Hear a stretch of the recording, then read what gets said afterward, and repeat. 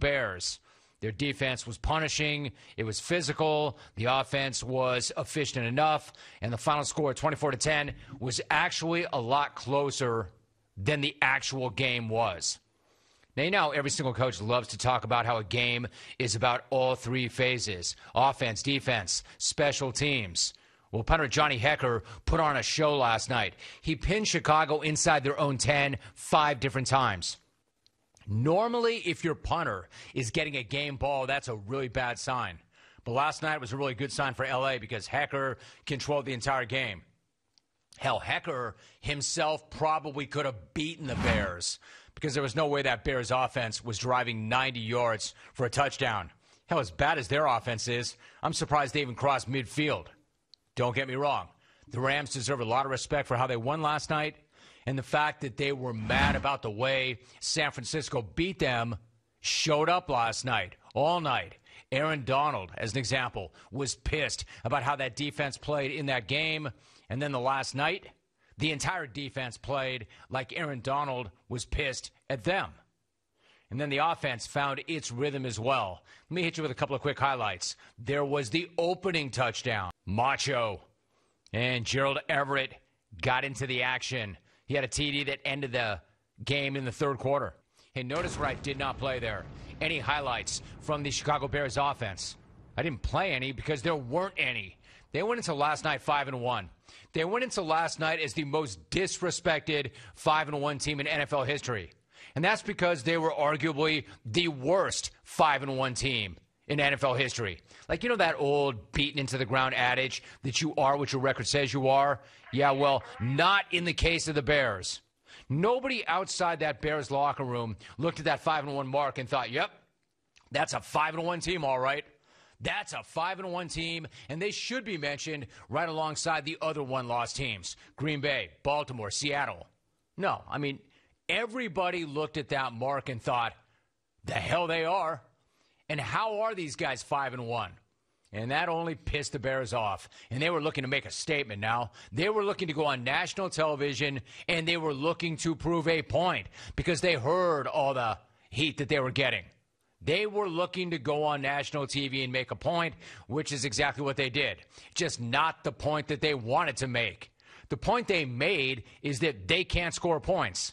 The point they made, they can't move the ball, they can't throw the ball, they can't run the ball, they can't do jack offensively. And you best not come in here and blame Nick Foles for that. I'm not saying that Nick Foles is awesome. But this guy can't do anything with Aaron Donald and the rest of the Rams pass rush up in his face every single time he drops back. With Aaron Donald in his face. But it's not just a Foles thing. And it's not just a Rams thing. We've seen this movie time and time again. It doesn't matter who their quarterback is. If the quarterback is wearing a Bears jersey and Matt Nagy is the head coach, it's going to have the same exact ending. He's been the head coach for 40 games. In 24 of those games, the Bears offense has failed to score 21 points. And this guy is the alleged offensive mastermind. Yet he can't scheme his way to three touchdowns a game in more than half of his games. That is some Adam Gase offensive brilliance right there. In fact, this guy is the Midwestern version of Gase. He's Gase minus the crazy eyes. So, no, it's not about the quarterback.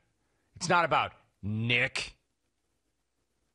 And that's not to say that going back to Mitchell Trubisky is the answer, because if Mitchell Trubisky is the answer, I'd hate to know what the question is. Hell, Trubisky's never been the answer and never will be. But Bears fans, I hate to be the one to break this to you, but it doesn't matter who your quarterback is right now. Not when that guy is your head coach. Because the offense has been pretty much the same for the past three years. It has not gotten any better.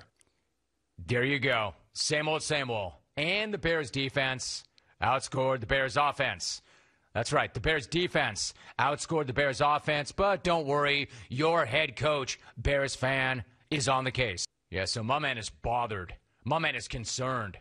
You might even say he's troubled by all of this, so he's on it. I mean, he is really on it. Yeah, great, but can he fix it? Can he fix it because he hasn't yet? If the quarterback is telling the coach that they do not have time to execute the play call, that's not good. that's not good at all. If the head coach can't see that, that's a major problem. Then after the game, Nick Nicholas said that that's not what he meant. Man, why don't you hit that word salad with a little vinaigrette? Hey, I don't know, maybe maybe Brian Greasy misunderstood what Foles was telling him. Or maybe he was saying something that he thought he said in confidence to a fellow QB. But it sure looks like that's exactly what's happening when the Bears have the ball. It sure looks like the game is being called by a guy watching a different game. A guy who either intentionally or unintentionally is looking to get his quarterback killed.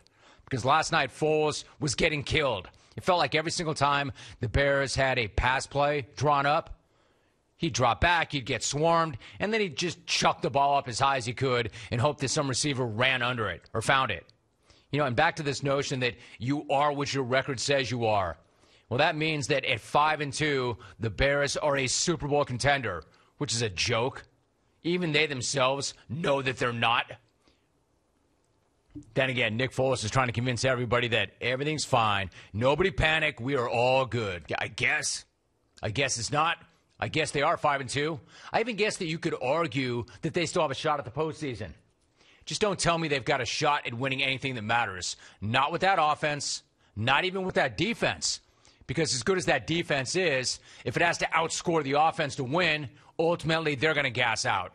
They had a golden opportunity in prime time to prove a point last night, to prove everybody outside that locker room wrong. Instead, they proved all of us right because they're not what their record says they are, and they're not going anywhere at all. Not with that offense, not with that coach.